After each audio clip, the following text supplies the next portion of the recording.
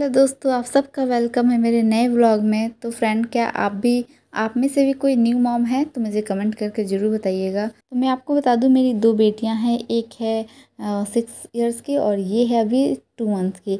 तो बस मैं यहाँ सुलाने की कोशिश कर रही हूँ, लगी हूँ सुलाने के लिए। अभी रात के ग्यारह बज रहे हैं और आपको जो नए मॉम हैं, जिनके छोटे बच्चे हैं, उनको तो पता ही होगा कि बच्चे को सुलाना में बहुत टाइम लगता है। तो मैं भी यहाँ बहुत ज़्यादा स्ट्रगल करने के बाद फाइनली मैं सुला ली हूँ अपनी बेटी को और इनको यहाँ सुला देते हैं और उसके बाद मैं जाऊँगी किचन में काम करने। तो ये देखिए बहुत मेहनत करने के बाद मैं यहाँ सुलाई हूँ बट हाँ थोड़ी देर ही सोने वाली हैं फिर ये जग जाएगी। और इनका प्यारा सा टॉय मैं इनके पास रख देती हूँ।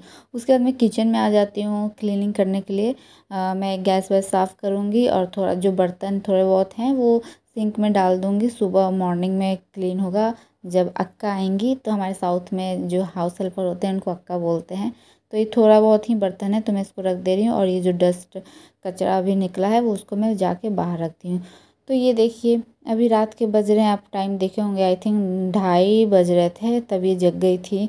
ग्यारह, साढ़े ग्यारह सोई थी और उसके बाद दो बजे से जगी हैं तो मैं पहले तो उसे लेटा के ही सुलाने की कोशिश की बट ये नहीं सोई।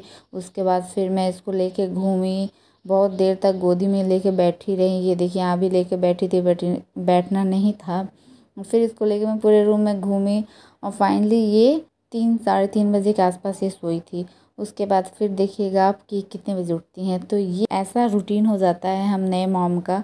तो रात में पता नहीं कितनी बार जगना होता है। तो ये देखिए, उसके बाद ये यहाँ टाइम हो रहा है फाइव फोर्टी फाइव छः बजने वाले हैं। और फिर ये जग गई थी मतलब पाँच साढ़े पाँच बजे ही जगी थी। तो फिर मुझे सुलाते सुलाते उसको साढ़े सात ऐसे हो गया। तो एक घंटे तो लग ही जाते हैं सुलाने। लेकिन कभी कभी ऐसा होता है ना कि तीन, चार घंटे वो नहीं सोती है, अगर उठ जाती है तो। और बस ये नेक्स्ट डे का मॉर्निंग का टाइम है। मैंने ब्रश व्रश किया, उसके बाद मैंने चाय रख दी बनने के लिए। और उसके साथ ही मैंने रख दिया था आलू आलू बोल रही हूँ, अंडा बॉयल होने के लिए। फिर मैं फटाफट नाश्ता की और आप मेरा फेस देखिए कैसा हो गया। रात रात में बहुत बार जगना होता है, जो न्यू मॉम है वो समझ सकते हैं कि हमें रात मतलब ऐसे अब नींद हम नहीं ले पाते हैं कि एक बार सोए तो सीधे सुबह ही उठे। जो न्यू मॉम है उनको रात में पता नहीं कितने बार उठना पड़ता है तो मेरे साथ भी वही होता है। तो इसके बाद ये थोड़ा सा गोभी मैं काट रही हूँ, कल बनेगा लंच में, इसलिए मैं पहले ही काट कर रख ले रही हूँ क्योंकि अभी मेरी बेटी सोई है और अब मैं उसको जगाऊँगी। अभी बज रहे हैं दस बजे के आसपास। तो वो ना कितने सात, साढ़े सात बजे सोई थी और उसके बाद अब दस बज रहे हैं तो मैं उसको उठाऊँगी और ये मिलेट का नूडल्स है जो कि मैं आज बनाने वाली हूँ।